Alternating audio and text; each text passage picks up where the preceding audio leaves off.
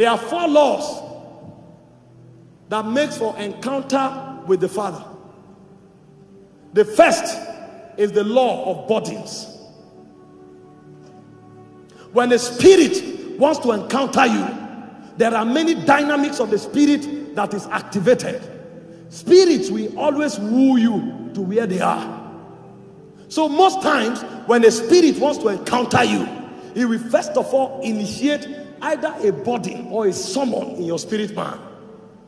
You may be doing and living your life comfortably until one day you lose your peace. And you are finding out what is the matter.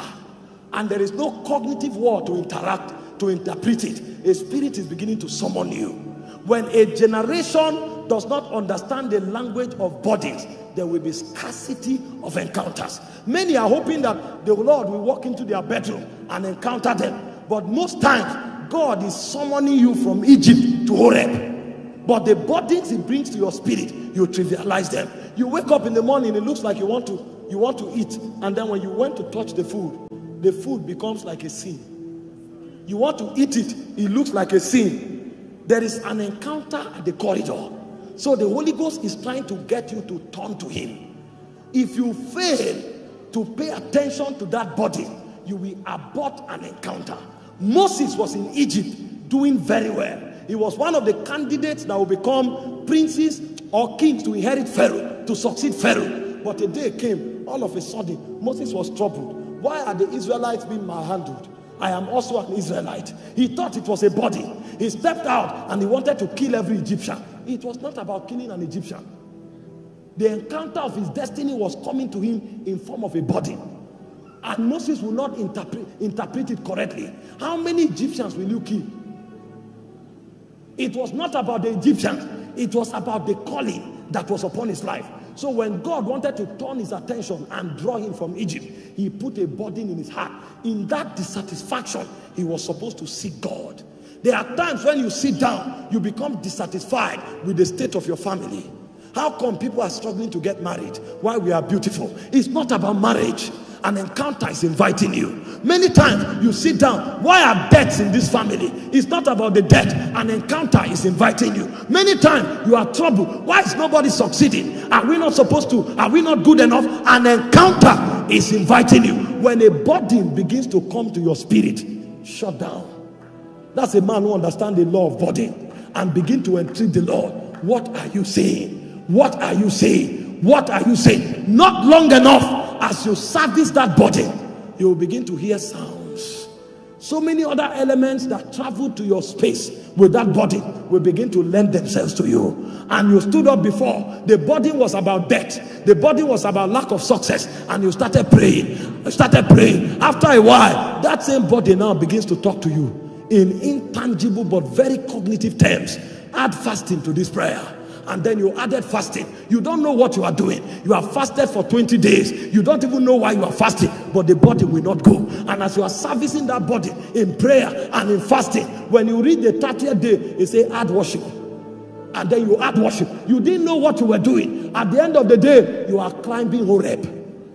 It's a 40 days journey. You are climbing, you are not aware. If you continue for a while, you will discover that you will hit a zenith in the spirit. And one day, the same prayers you have been praying, the same fasting you have been fasting, while you are yet fasting, you will encounter the Father and he will begin to speak to you. And that day, the Father will let you know the death was an excuse to bring you to the mountain of encounter. Daniel said, I understood by books that the years of captivity of Israel was supposed to be 70 and then he began to entreat the Lord for 21 days. He thought he was praying for Israel's deliverance. When he prayed for 21 days an angel showed up. He said I was given speed to fly fast to meet you and to give you skill and understanding. So the prayer activated an encounter with the cherubim. But Daniel thought it was a body. Most of the encounters that would have changed your life, they came to you in form of bodies, but you were not aware, so you aborted them. You woke up in the morning, you felt like fasting. You say, "Oh boy, this is no easy. Maybe tomorrow, tomorrow, tomorrow may not be the Kairos moment. Tomorrow may not be the Kairos moment. Tomorrow, tomorrow, no. it's not everybody that will encounter God in a conference. It's not everybody that will encounter God by laying on of hands. We have different ways of responding to God. And God knows the way He fabricated you in the studio of eternity. So many times He knows the language that will reach you fast is the language of body. Because you are a man that pay attention to details. And He brought body, but you aborted it. How many bodies have we aborted that have denied us life-changing encounters? Many things waiting in the spirit, but we can't travel there. We can't travel there. When Moses left Egypt for 40 years, he kept that burden in his heart. He kept it until one day the Bible said he went to the backside of the desert. And as he was there, he saw a bush burning that was not consumed. The first thing God began to do was to talk to him about Israel because God knew that was the burden of his heart. How many burdens will our generation abort? The devil knows this intelligence. That's why when you look around you, everywhere is littered with distractions. Those are burden aborters. You had the burden, and all of a sudden you step into the parlor and they are watching a seasonal movie. And then you sit down and say, after a while, you say, wait, you now sit. After a while, you now bring your pillow and lie down. You didn't know that that was a clinical abortion taking place. When you finish watching that seasonal movie, you will stand up and the burden you carried from the bedroom, you can't find it anymore. You will go back to your religious prayer. Shabba, shabba, shabba, shabba. You will do shabba, shabba, shabba for another three years because you lost a kairos moment.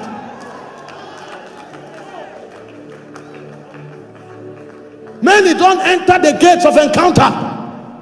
We believe so much in activities. Powerful men are not just given to activities, they are given to moments. Did you not see the man that was at the pool of Bethesda for 38 years? You know he's a man of activity because even when Jesus came in the flesh, he couldn't discern him. They said, Would you be made whole? They said, I've been here for 38 years. They didn't ask you for how long you have been here. Activities have distracted you. Would you be made whole? I've been here for 30. Who asked you how long you have been here? That's why every time the water is stirred, that's when he's distracted. And that you are there for 40 years will not create any change. There are applications of the spirit realm ready when your kairos moment come, will you know? Jesus said in Luke 1944, he said there will be gnashing of teeth. He said the city will be besieged on every side. He said many will weep. Why? Because they know not the times of their visitation. When men are preparing for war, that's when some go to have pleasure. And he said, Woe unto you if your prince is a child and eat for pleasure and not for strength. It's not every night that men should sleep. There are certain nights that a burden comes upon you. If you need to put your leg in water to pray till morning, put your leg in water. By all means, have that encounter. Every time there is an alteration in spiritual frequency, make sure you isolate the counsel of God that came with it. That's what will make your life relevant. You can be promoted in the spirit seven times in one year if you can maximize it. That's why you look at certain men, you say, ah, why is God favoring this person? God is not a respecter of person. The man just knows how to maximize spiritual moments. If God favors men, he would have been biased, but God is not biased. The man has seven encounters in one year. He entered all of them. You, you have 13 encounters. You entered one. How do you think you can be the same with that man? You may disciple him in Bible school. He can become your pastor. Bodies. The language of bodies. They are not tangible, but they are heavy. No man can deny it. So God Himself will put it upon you. Even if you are sleeping, sometimes God wakes you up in the night and you don't know why you woke up. You try to play music to sleep, you can't sleep. Be wise. There's an angel locking by the corner. There's a message from heaven. There's a message when you find out that on unexplainable things begin to happen around your life. Shut down your natural elements because you need to heighten your spiritual propensity. Attendance to body is one of the ways of maximizing spiritual realities. But many don't know the language of bodies. They say, I, didn't, I don't know how I was feeling. You don't know how you were feeling. It's a language of the spirit. Find out what it means.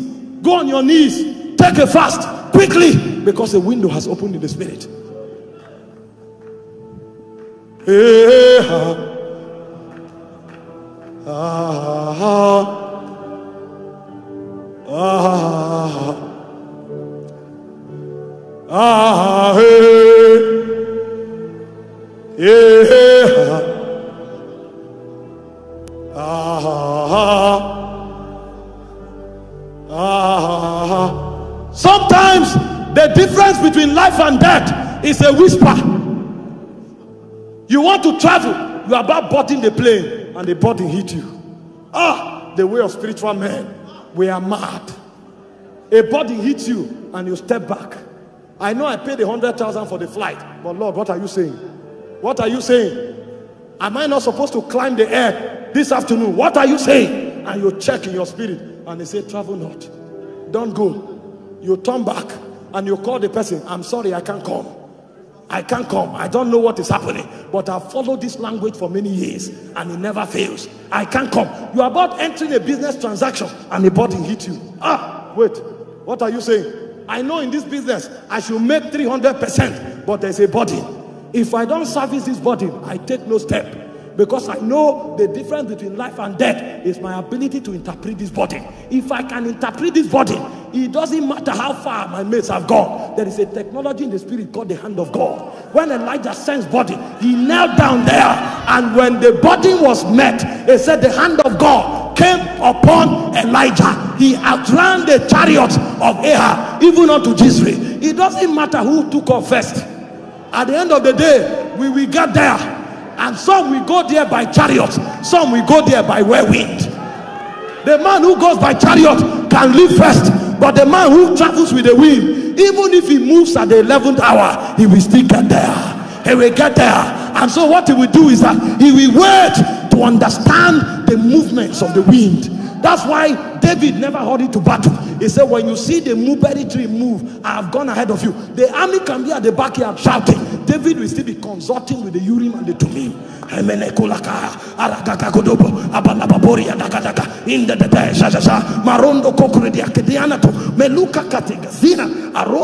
they say you are late give me time kira. There's a language of the spirit i'm trying to decipher. It came as a body. It's an encoded language. Sometimes the word of your destiny it comes in form of mene mene take care of sin upharsin is a language of angels. So you can't just know it with your mind. You need to go back to the corridor of the spirit where the language came from and find out what does this code mean. And you will go back. Makoria Avovo, I know I'm 35 years, and this is the only suitor that came in 15 years. I will still not rush. If I sense a body, I will interpret it because it's not who married first that makes impact. It's who marries according to the will of God. evelelul maila kuma abele kuria tada marakule namo evekalula kade manteki eh, eomona eomona eh, eomona eh, and as you are praying after a while you will break into chants and you'll be chanting in your room. Mane amome keke akakakakula laka arwarwade emome memenu kuwa babarakatotaka ariada and sometimes while you are yet praying you find yourself running. That running that you are running is not physical running. You are covering mileage in the spirit. You are covering dimension in the spirit. And you will wake up all of a sudden. Those who started 20 years ago, they will become your disciples. And you say, What happened? While I was interpreting body, I went ahead in the spirit. Kaka, Zazaza, Kakakaroria, Mando Karaka, Baradia Tone, Eluate de Avolaya Tana. Ole! Omakade, Evele, Kanzida Paya. Instead of dealing with bodies, we allow anxiety to take place. No, you can't be defeated in life. Just move with the Holy Ghost. Move with the Holy Ghost. Move with the Holy Ghost. You will get there. You will get there. Many destinies are being truncated because they didn't pay attention to bodies. They didn't pay attention. It doesn't matter if your friend is doing well, he's on his own lane, and his own economy is different. Thank God for his life, but focus on yours. Stay where you are. It may go 10 years ahead of you, it's not a burden. Just stay where you are. Mile, Ome Koko, Ragagagata, in the parade. Maybe your friend's ministry is in Abuja, but God wants you to affect the world. A man who is sent to Abuja will not move at the same time with the man who is sent to affect the world. So even though your friend is making impact in Abuja today, your own catchment area is the globe. That's why when Lot looked quickly and chose Sodom, he went to destruction. Abraham waited. My, my goal is not where there's green pasture. I'm an inheritor of the whole world. And when he waited, even Sodom became his possession. Lot was in Sodom, but Lot didn't have power over Sodom. Abraham never stepped to Sodom, but where he stood with God, he inherited Sodom. And when God wanted to destroy Sodom, he said, Will I do a thing without telling my servant Abraham? And God came to Abraham to seek permission destroy Sodom. And when God was going to Sodom, Abraham said, Wait, Lord, wait, wait. I am not in Sodom, but I want to intercede for Sodom. What if you find 50 righteous men? How come Lot, who was in Sodom, didn't have power to intercede for Sodom? Because you don't have to be in Sodom to win Sodom. Eleko. What if you find 40 righteous men?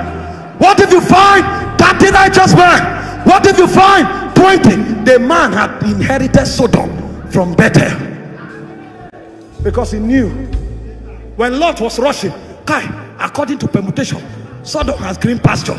Abraham was waiting for the Holy Ghost. And when God came, he said, Lift up your eyes.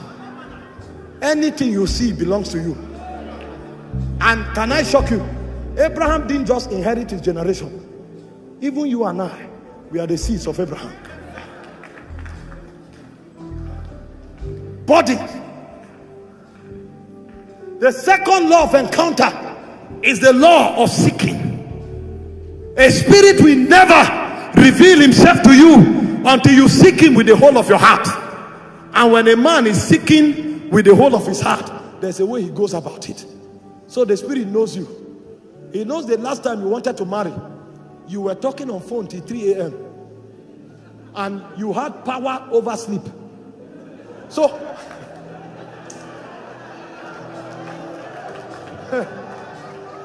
3 a.m. You are still agile.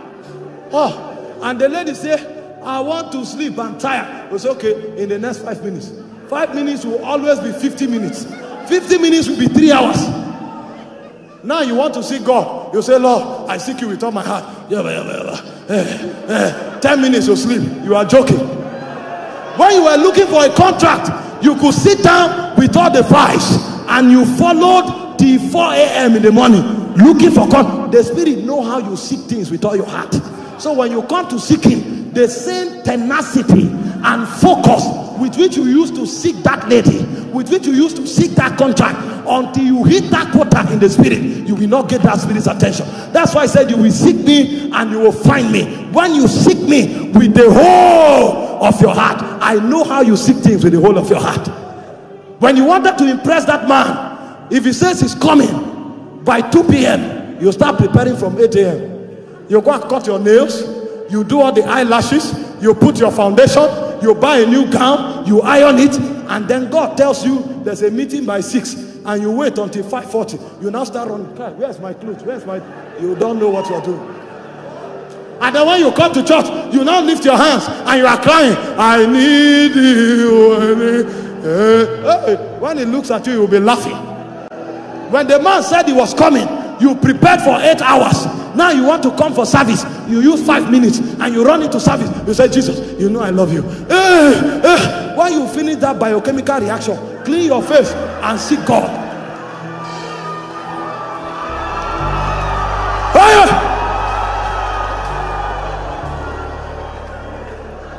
You that was looking for job, they told you that the venue of the interview is eight kilometers. You were there by 5:40 a.m. You traveled for eight kilometers. You came before they opened the office. Now you say you are seeking God, and service will go for one hour before you stroll in and say, "Car, Abuja, Abuja, I don't understand this city. I don't understand this city." But the city could not tell you when you were looking for a job. Now that you are seeking God, the city can tell you. When you become serious, you will find Him. The Bible said God hides himself in the deep darkness.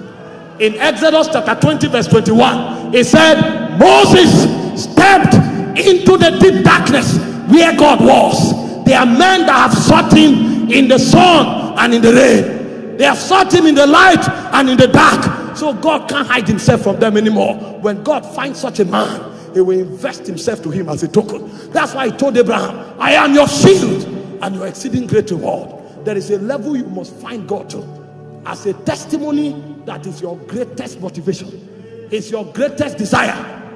You must find God, and your quest for Him must surpass every other. Because you were looking for job, you went for 400 days fasting. You were looking for a husband, you went for prayer meetings for one full year. You did vigil, you didn't sleep once. Now that you are married, vigils have become for young young people. When they say fast, you say, Kai, when you are fasting, please add wisdom because you can have ulcer. But you didn't think of ulcer when you were looking for job. We deceive ourselves and we don't know that God is an immortal spirit. He knows your intention, He knows your thoughts, He knows your propensities. And when you channel them towards Him, He knows. When it comes to work, you have time. But when it comes to God, you don't have time. You will never find Him. You will never find Him. You will never find Him. You will never find Him. The law of seeking God is a law of hunger. You are never satisfied. I want more. I want more. You just come from a miracle service. Everybody is talking about the miracles. You go back home, Lord, mercy.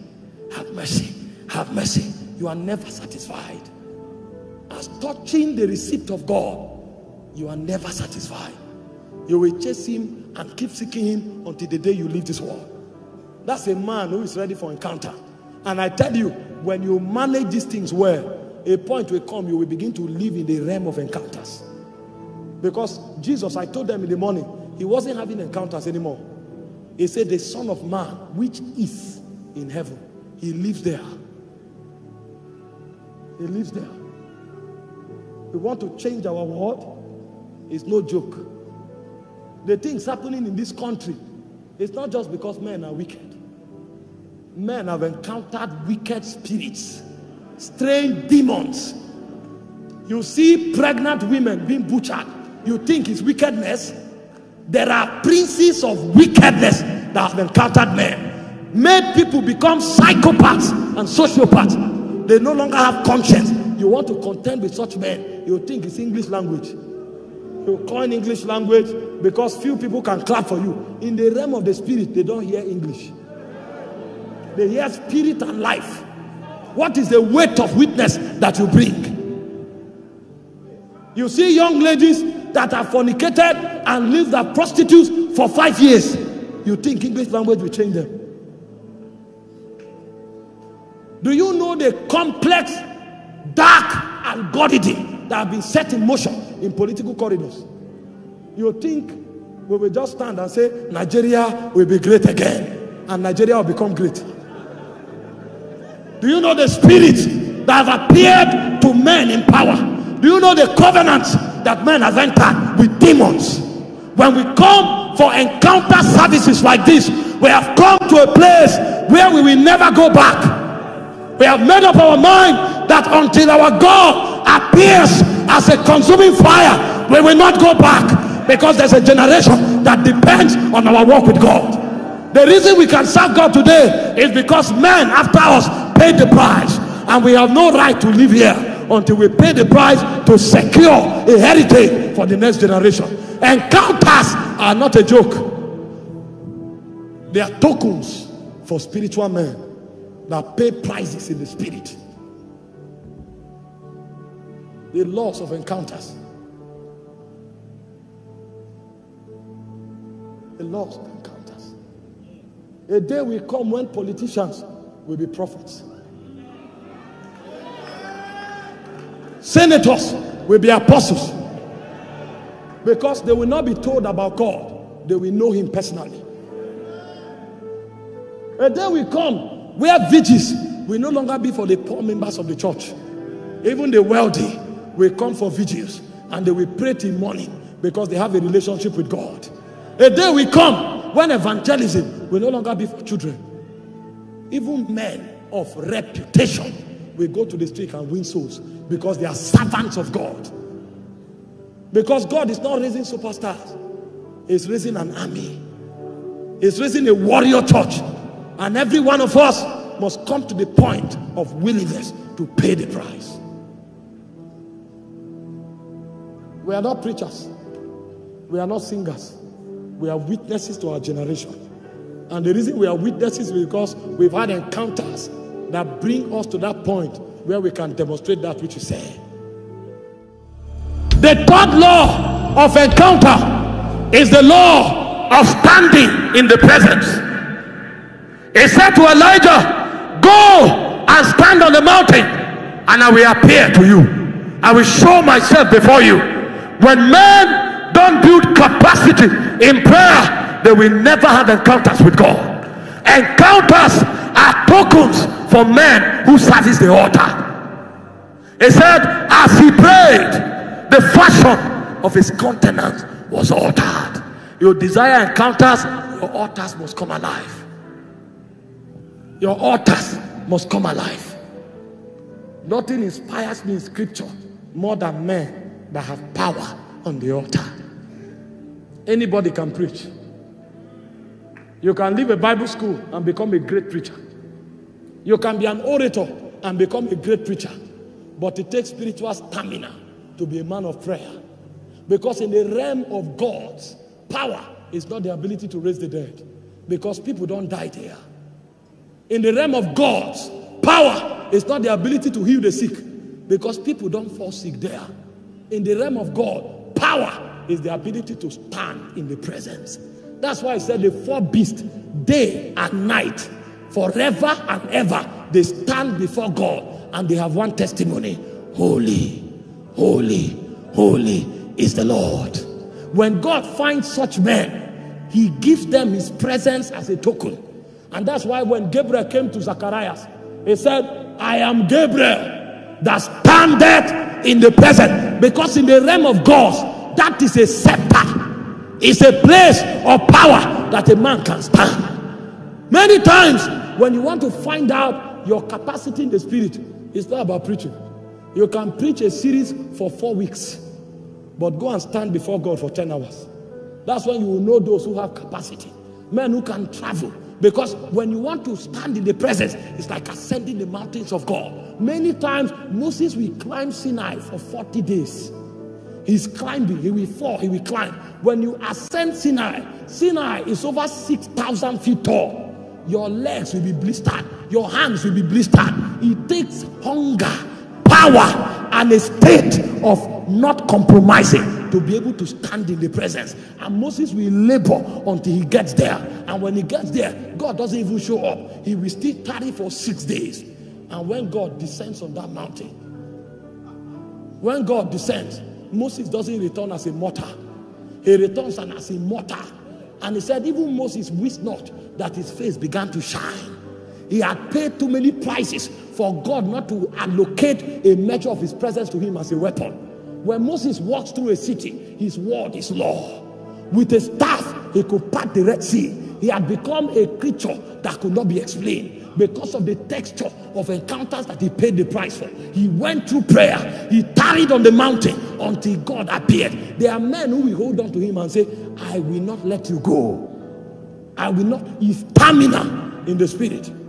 You want to find strong men, they are not on the pulpit, they are on the altar. Anybody can be on the pulpit. But when you find men on the altar, they are genuine men. He said the priest must put wood on it every morning. The fire on the altar must not be put out. The reason our Christianity is weak and psychological is because we don't have men of prayer. When men build capacity on the altar, it will be commonplace. When you come to such meetings, you won't find sick people. Because when they stay in the presence for long, their body, the molecular structure of their body will be altered. When they stay, when you you can't talk to that kind of church because nobody will be naive. When you are talking about the spirit realm, they know because that's their everyday life. You can't come and say an angel appear, they live there. And if you begin to lie, they will look at you like this. They will know you are a joker. Because even the realm where they are sent to, you have not reached there. The church that God is raising is a praying church. Because very soon our meetings will not be in auditoriums, it will be in the spirit. The witches have gone too far. Witches enter meetings through through trees. They knew how to travel to the spirit realm. And today we are still struggling, trying to get things done in the flesh. Meanwhile, our counterparts in the negative supernatural have gone far. When they go for their meetings, they don't carry cars there. They appear. They appear in the meeting. And it's not a testimony. If I appear on this altar, I assure you everybody will run. But in the demonic coven, it's a normal thing.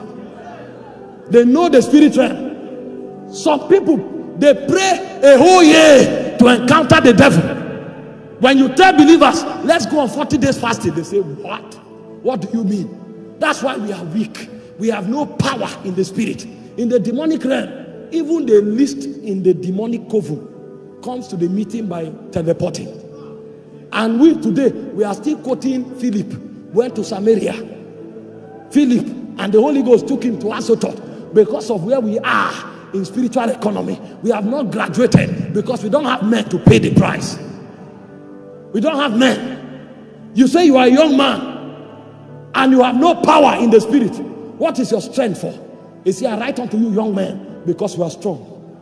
The word of the Lord abides in you. You have overcome the evil one. Today, young men are still looking for direction. How can you be looking for direction? Your prime. This is your prime. How can you be seeking direction? You should have ascended the mountain and you know your future. That no false prophet can come to deceive you. When they talk to you, look at them say, Sir, I know where I'm going. I wasn't told by a man, I saw it in the mountain. I can tell you where I will be in the next 30 years. I saw it. That's the beauty of young men. They know where to deploy their strength. And when a young man comes out, the glory of a young man is the glory of the spirit that he carries, the power that he mirrors. When you want to find young men, you should find them on the altar. That's when there is a hope for a generation. Not young men that talk and back different kinds of haircut and they have followers on Facebook. We need men that can change things on the altar. Then you know that a generation has hope. When young men gather, it's not gossip, Unfortunately, our generation today, when young men gather, they are either talking football or they are gossiping. And they can talk about Chelsea and Man United for 10 hours. That's why we are oblivion in the spirit. We are oblivious of spiritual things. It's a shame that you find a thousand Christians and you can't find 20 of them that can walk in the spirit comfortably. It means our Christianity have not begun to touch matters of eternity. Our pursuits are wrong and our motivations are not service. In the day of the power of God, men will walk in the realm of encounters because prayer will become the breath that they breathe. That's why even in the in the soccer way, Jeremiah was prophesying. He no longer live by bread. There is another economy that powers him. There's another economy. The fourth law of encounter is the law of service. Samuel remained in the temple and God appeared to him. We don't want to serve in our generation. We want to appear on billboards and put our hands like this.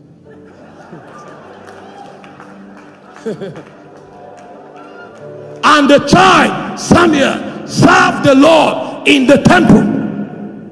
It was by the altar in the temple that God called him Samuel, Samuel, Samuel, Samuel. They know the honor of service. Our generation can't serve nobody. They can't serve anywhere. Everybody wants to be the happening person. People don't happen. God reveals them.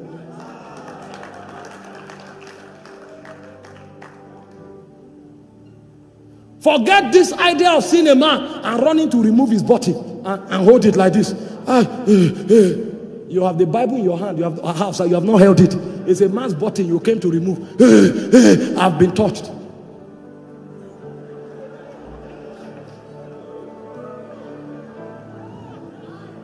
I know demons can be cast out by such contact. But there is honor in service. He said, The greatest of you all is the one who is the servant of all. I heard Benny Hinn spoke. He said, If his father and the Lord was still alive, he will still be serving him till today. Because men don't outgrow service. There are many things service represents in the spirit. Men don't outgrow service. You want to live in the realm of encounters, you must know how to service bodies. You want to live in the realm of encounters, you must know the way of service. You want to live in the realm of encounters, you must know how to see God with all your heart without hypocrisy. You want to live in the realm of encounters, you must know the way of prayer. But just in case you don't pay that price, your life will not amount to much. Because even the scriptures have revealed to us that many generations came and went. There were only few men. Hope you know that there were many men that were not written about in scripture. It's only those who made the mark that were written about. That means in the chronicles of God, they don't write everybody. They don't talk about everybody. It's those who made the difference. Because a whole generation can be called the time of John. There may be a thousand prophets, but they didn't know them. They have titles, they don't have impact. So, as far as the heavens are concerned, only John made a mark. So they said, Everybody that is there, we will call you John until the time of John. May you not be captured in John. Have your identity in the Spirit.